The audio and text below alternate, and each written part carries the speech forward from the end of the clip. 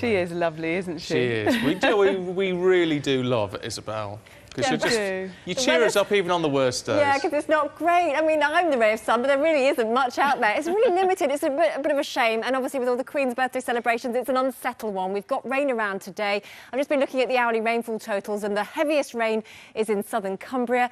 Elsewhere, it's patchier with some decent dry weather around this morning, despite the cloud. But uh, the showers will get going more widely. And as you can see, many parts of England, Wales, and Ireland at risk from some heavy showers today. Not everywhere will be wet. There will be some drier spells, and I would be, wouldn't be surprised if the south east and east Anglia stayed largely dry and there to be warm at around 21 to 23 degrees. But uh, obviously, where you catch the showers, it's heavy. And for Scotland, it's cooler with uh, a front there giving some more persistent rain. Tomorrow, I have to say, the showers ganging up again from the west.